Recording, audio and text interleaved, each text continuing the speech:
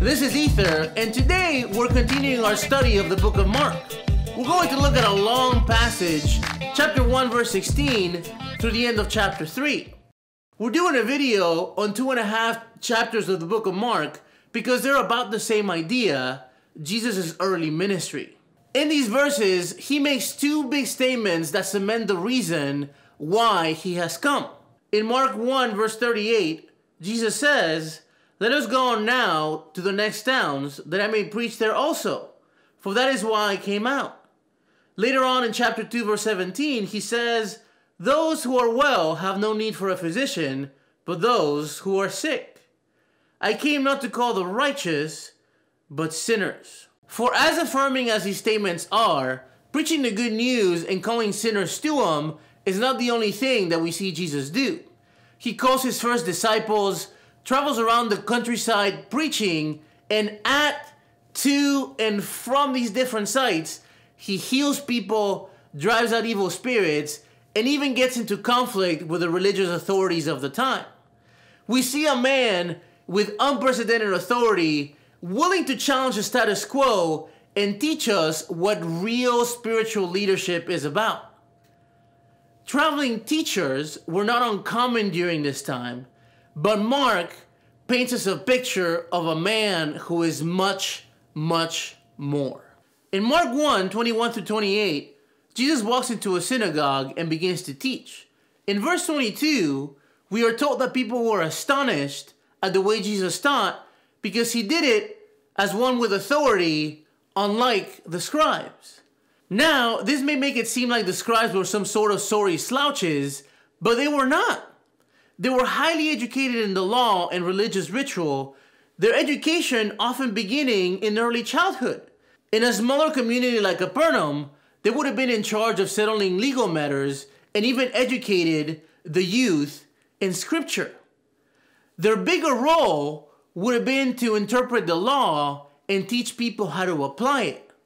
But there's something about the way that Jesus taught that seemed grander, better, with more authority, perhaps because the best that the scribes could hope for was a great interpretation, but Jesus knew exactly what scripture meant.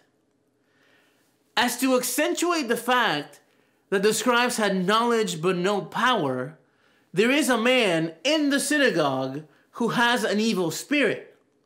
Yes, a man with an evil spirit inside a religious building. The spirit immediately recognizes Jesus and calls him the Holy One, a phrase that was used to refer to the Messiah.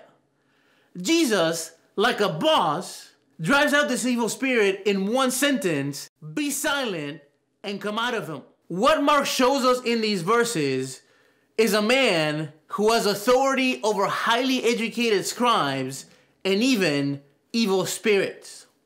We are used to a visual portrayal of Jesus in which he is a meek, gentle, peaceful man holding a lamb or something. But this is very far from the picture that Mark paints in his early chapters.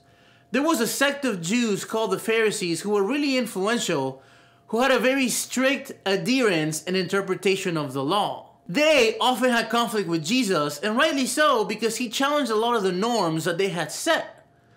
Two vivid examples of this are in Mark 2 23 through 3 6, in which they have a couple of disputes that revolved around the Sabbath. In the first one, Jesus and his followers are walking through a field and they're hungry so they begin to pluck heads of grain so that they can eat. The Pharisees see this as a violation of the Sabbath. Jesus confronts their complaint by recalling a story that involved David and his companions in which they ate the bread of the temple. Jesus' point is that in the case of David and his companions, their hunger had precedent over observing religious ritual, and the same is the case for Jesus and his companions. The second Sabbath dispute happens when Jesus is in a synagogue and he's about to heal a man with a withered hand. The Pharisees watch in horror as Jesus may perform this good deed while it is the Sabbath. Jesus, of course, heals the man and is angered at the Pharisees because of their hard heart that they would care more about the Sabbath than they would about the well being of this man. There is a clear contrast between the leadership of the scribes and the Pharisees and that of Jesus. They saw notoriety in their education and knowledge. Their observance of the law was strict at the expense of the people who were following them. Their teachings were oppressive and burdensome. But Jesus is different. Determined to accomplish his mission, he would try to avoid crowds by telling people not to say anything about his miraculous power, or by trying to leave towns early, or even retreating into the wilderness. And yet, when people came, he would have compassion on them.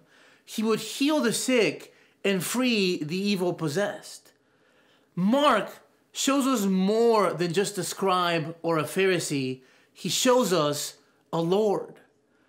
Lord over knowledge, Lord over evil spirits, a Lord who is compassionate, who cares about those who follow him, a Lord whose teaching feeds and restores people, a Lord who's come to save us all, a Lord who both Mark's audience and us should find comfort and confidence in following. We hope that you've enjoyed and been inspired by this video. Before we leave, we'd like to thank those of you who've become our Patreons. Your support goes a long way for us to be able to produce this content. We'd also like to encourage you, some more of you, to support us on Patreon. You can support our cause for as little as $1 a month. Also, if you like this video, please give us a big like, Follow us on social media, and we'd also like to remind you that we're going to cover this passage in a lot more detail in our weekly podcast. You can subscribe to it with the links below. Thank you so much for watching, and we'll see you in the next one.